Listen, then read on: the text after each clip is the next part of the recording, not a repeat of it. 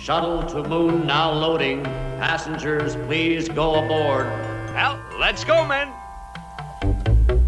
Hey, Pop, how far is it to the moon? There's a sign showing the distance, Elroy. Oh, yeah. Moon, 238,000 miles. Well, gosh, Pop, that's not very far. That's right, Elroy. We'll be there in no time.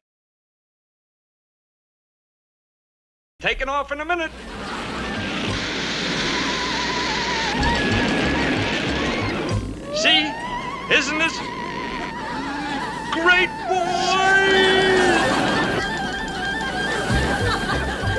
Okay, Cubs, prepare for weightlessness.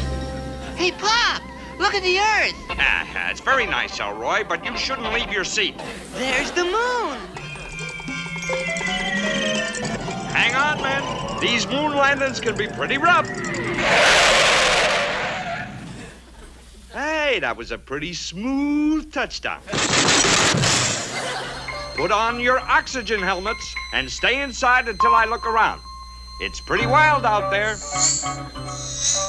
Moonport. Moonhattan Tilton Hotel.